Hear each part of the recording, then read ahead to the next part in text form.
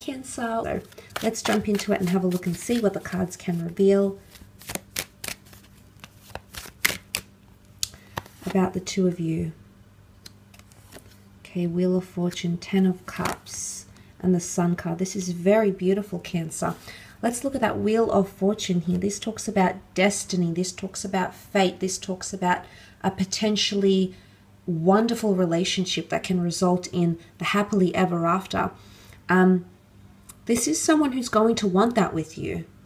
They're going to see you as someone for the long term. Wheel of Fortune is all about a destined cycle that you need to go on. It can involve karmic lessons. There might be lessons that you need to take from this relationship, and it might be lessons around relationships, family, and being more open minded or more receptive to things. I love that the Cancer the moon and the sun has come up because this is divine masculine and divine feminine. And to bring that together makes something complete, makes something whole. So, this is a very special relationship, Cancer. This is going to be one you will not forget, I don't think, ever. Even if you move on from them, even if you do not stay with them for the rest of your life, there is um, a part of them that's always going to stay with you somehow because that's what the Wheel of Fortune is it's the wheel of life the wheel of fate turning.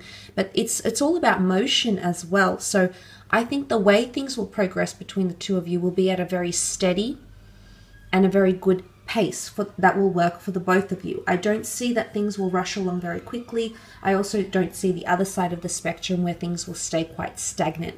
I feel like you're going to be on in constant movement with each other, which is really powerful. The four cherubims indicate solidarity, the number four, the four elements, the four corners. This is symbolic of finding stability and concreteness with this person. Because you both will be wanting these things when the two of you connect together into a relationship. There's something about divine timing happening here as well. Again, this person is coming at it and coming in at very, very good time of your life, but you'll also be entering their experience at a very good time as well. Something about timing. Timing is everything in this relationship when when you start to form but the wheel of fortune talks about increased abundance increased prosperity and just good nice things coming to the both of you so i think with time you'll notice that things get easier things get better things become smoother between the two of you let's move on and have a look at that beautiful ten of cups as well uh, Ten of Cups energy here. What can we say about the Ten of Cups? This is the happily ever after card. It is a card of family. It is a card of solidarity and creating a life or a family home together. So I really feel like if this is, um, if you're at a stage in your life where you're wanting children, if you're at a stage in your life where you feel you want a, a mother or a father figure for your own children or grandchildren, you know, whatever it is that's happening around you, there is a certain possibility that the two of you can build a happy family home together and build a life together, Cancer. Um, I feel really hopeful for the future between the two of you because the p- potential is really li- um, limitless. We see children in the cards. We see a very affectionate couple. They're glorifying the rainbow. They're very, very happy. The sun is around them, there's harmony, there's hope, there's reconciliation. Now, I want to just go back to that for a second. I think some of you cancers are reconciling with, with an ex or someone that you feel like you didn't get a proper chance to date or get to know or experience. This person is coming back around. Fate will send them back around, and some of you are destined to remain with them. So, for some, it's some of you have broken up with someone here, but you're actually going to come back together, okay, in a very, very powerful way. It can also be a lifelong connection here. The cups are all about emotion. This is Cancer, Pisces, Scorpio, beautiful water energy. And you know, you do have a lot of number one number ones here. So new beginnings, fresh, uh, a fresh, clean slate, a fresh start, a restart. Um, starting again. So maybe if you are already already have this person in your life, you're reigniting the flame. It's almost like you're getting a fresh start in your relationship. There's some sort of newness that's coming in around you. But there is a possibility of pregnancy or getting this person pregnant because children are in the cards for a lot of you, okay? Or there's they might have children. And maybe that's the maternal paternal energy I saw before. Maybe that's coming through here.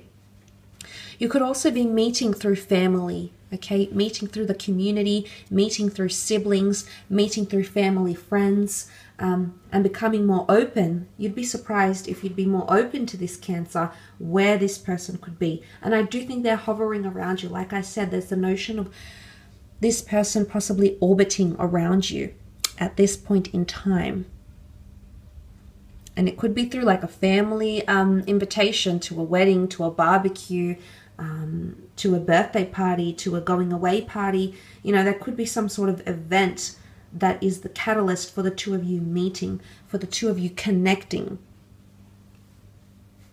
So that's um, really, really positive, but also creating um, a family life together. Some of you will move in together. As I said, I, I, I, don't think it's too quickly. I think it's going to come at the right time. It will just feel right. But some of you will be creating or building a family home fairly soon after the two of you meet.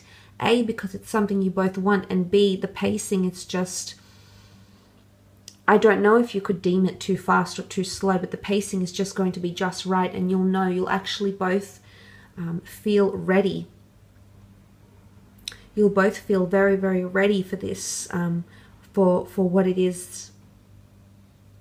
But there's going to be a lot of like, think about the rainbow here. Um, because this is a Christian deck, the rainbow is a sign of the covenant. Okay, after the flood, after the Lord sent the flood, the rainbow was a covenant that He would never do this again to His people, that He would promise them he would never do this again. So it's promise, it's engagement, it's a covenant, it's symbolism here.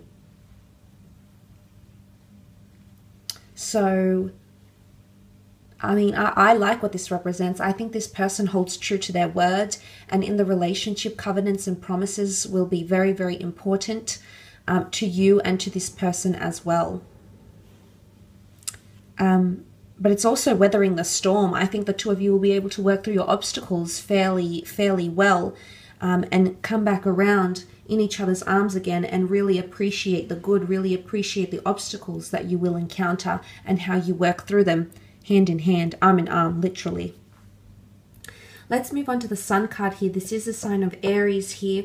A lot of firsts in this relationship, a lot of energy, a lot of momentum, definitely a lot of physical attraction and intimacy between the both of you with the sun card here.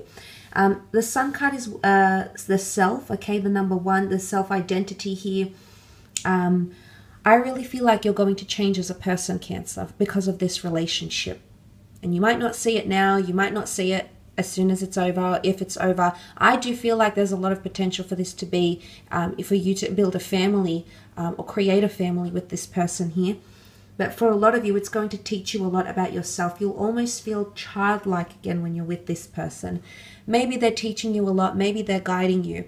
Um, and it's not to say they have an unhealthy dominance over you. I wouldn't say that, Cancer. I think it's more to do with the fact that this person is going to guide you in a very nurturing, in a very encouraging way. And with the sun card here, you're going to be very open to the experiences with this person. You're going to open up like a child. This is innocence. This is purity. A, it points to pure intentions and a pure connection between the both of you, Cancer. Um, but it also points to there's something that you've had in your mind that you thought you would never do or never have or never achieve or never find anyone to achieve or have or be or experience those things with. But I'm here to tell you that I think this is the person that's going to swoop in there and change that. And suddenly, things that you were closed off to having or doing or being or experiencing, suddenly the floodgates open up and this person makes you feel like you want to experience these things and you want to do it with them. And this is not by no means forced, it's going to be absolutely on your own accord. I will leave it at that though, Cancer. Very, very beautiful reading. Thank you so much for tuning in.